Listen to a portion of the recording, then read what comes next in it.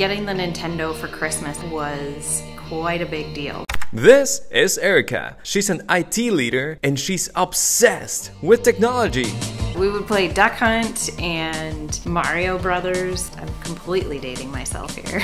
this was the first time that we had something that not only required setup, but actually was more interactive. I remember my brother and I just spending as much time as we could playing it. My parents had to put a limit on how much we were able to play on it. Even my grandma got into it at one point. I do remember eventually having the Discman. I remember always listening to music. Same thing in college. My husband would even talk about how we actually lived near one another at the time. We were not dating. He would be sitting on his front porch and I would have my headphones in and he would be like, hey Erica, how's it going? And I wouldn't even hear him. Almost every single night that summer, chatting with my fellow classmates. It was just this whole newfound way of socializing. It allowed me to connect with other people that normally I never would have had contact with other than maybe writing a letter. So I went to school for graphic design. We had to have Photoshop, Illustrator, which all came on DVDs. And I just remember it being really clunky compared to what we have today. In most organizations today, technology spend is probably one of the largest, if not the largest spend.